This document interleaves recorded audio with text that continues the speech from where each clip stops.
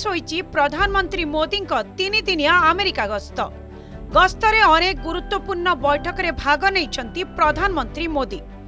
America ରାଷ୍ଟ୍ରପତି ଜୋ ବାଇଡେନଙ୍କ ସହ ଦ୍ୱିପାକ୍ଷିକ ସମ୍ପର୍କ ନେଇ ଆଲୋଚନା। ଆତଙ୍କବାଦ ଓ ଆଫଗାନିସ୍ତାନରେ ତାଲିବାନ ଶାସନକୁ ନେଇ ଆଲୋଚନା। କ୍ୱାଡ୍ ସମ୍ମିଳନୀରେ ଇଣ୍ଡୋ ପାସିଫିକ୍ର ଅଭିବୃଦ୍ଧି ପାଇଁ ଚାରି ଦେଶ ଏକମତ। ଭାରତରେ ଟିକା ତିଆରି ପାଇଁ ବିଶ୍ୱକୁ ଆମନ୍ତ୍ରଣ ଜଣାଇଲେ ପ୍ରଧାନମନ୍ତ୍ରୀ। ପ୍ରଧାନମନ୍ତ୍ରୀ ମୋଦିଙ୍କ ତିନିଦିନିଆ ଆମେରିକା ଗସ୍ତ ଶେଷ ହୋଇଛି। ଏହି ଗସ୍ତ କେବଳ ଭାରତ ଓ ଆମେରିକା ପାଇଁ ନୁହେଁ ବରଂ ପୁରା ବିଶ୍ୱ ପାଇଁ ଗୁରୁତ୍ୱପୂର୍ଣ୍ଣ। ଏହି ତିନି ଦିନର ଗସ୍ତ ଓ ବିଭିନ୍ନ କାର୍ଯ୍ୟକ୍ରମ ଉପରେ ରହିଥିଲା ପୁରା ବିଶ୍ୱ ସମୁଦାୟର ନଜର। ତେବେ ଏହି ଗସ୍ତରେ ଅନେକ ଗୁରୁତ୍ୱପୂର୍ଣ୍ଣ ବୈଠକରେ ଭାଗ ନେଇଛନ୍ତି ପ୍ରଧାନମନ୍ତ୍ରୀ ମୋଦି। ଆମେରିକାରେ ପହଞ୍ଚିବା ମାତ୍ରେ ଆମେରିକାର ୱାଶିଂଟନରେ ଥିବା ପ୍ରବାସୀ ଭାରତୀୟମାନେ ପ୍ରଧାନମନ୍ତ୍ରୀଙ୍କୁ ଭବ୍ୟ ସ୍ୱାଗତ କରିଥିଲେ।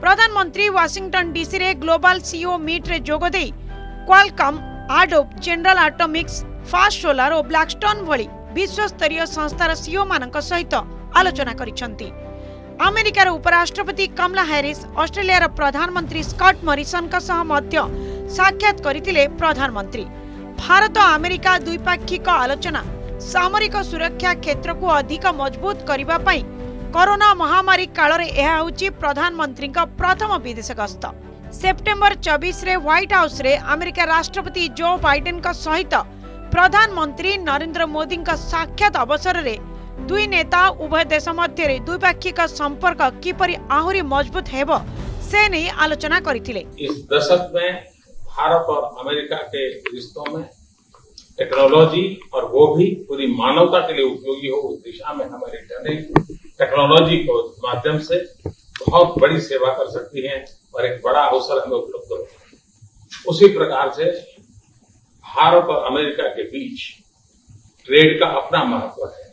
और इस दशक में ट्रेड के क्षेत्र में भी हम एक दूसरे को काफ़ी पूरक हो सकते हैं। बहुत सी चीज़ें हैं जो अमेरिका पास है, जो भारत को ज़रूरत है।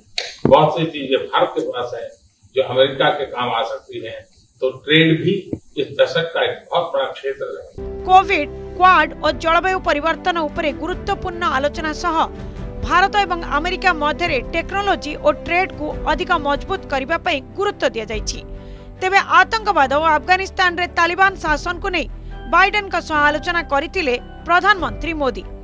ଏଥିସହ ବୈଠକରେ ଚୀନ ଓ ପାକିସ୍ତାନ ପ୍ରସଙ୍ଗ ମଧ୍ୟ ଉଠି ଆମେରିକା ଗସ୍ତର ତୃତୀୟ ଦିନରେ ଜାତିସଂଘର ସାଧାରଣ ଅଧିବେଶନକୁ ସମ୍ବୋଧିତ କରିଛନ୍ତି ପ୍ରଧାନମନ୍ତ୍ରୀ ନରେନ୍ଦ୍ର ମୋଦି ଧର୍ମ ଭାଷା ସଂସ୍କୃତି ପରମ୍ପରାରେ ବିବିଧତା ଭାରତୀୟ ଗଣତନ୍ତ୍ରର ପରିଚୟ ଭାରତର ପ୍ରଗତି ହିଁ ବିଶ୍ୱର ପ୍ରଗତି आज हम सब जानते हैं कि मानव जीवन में टेक्नोलॉजी का कितना महत्व है लेकिन बदलते हुए विश्व में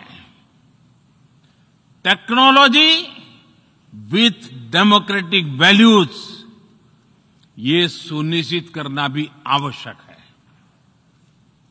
भारतीय मूल के डॉक्टर्स, इनोवेटर्स, इंजीनियर्स, मैनेजर्स, किसी भी देश में रहें, हमारे लोकतांत्रिक मूल्य उन्हें मानवता की सेवा में जुटे रहने की प्रेरणा देते रहते हैं ଭାରତରେ ଟିକା ତିଆରି ପାଇଁ ବିଶ୍ୱକୁ ଆମନ୍ତ୍ରଣ ଜଣାଇଥିଲେ ପ୍ରଧାନମନ୍ତ୍ରୀ ବିଶ୍ୱର ପ୍ରଥମ ଡିଏନ୍ଏ ଟିକା ଭାରତ ନିର୍ମାଣ କରିଛି ସାତ ବର୍ଷରେ ଭାରତ ହାସଲ କରିଥିବା ଉପଲବ୍ଧି ସମ୍ବନ୍ଧରେ କହିଥିଲେ ପ୍ରଧାନମନ୍ତ୍ରୀ Modi bureau report Argus news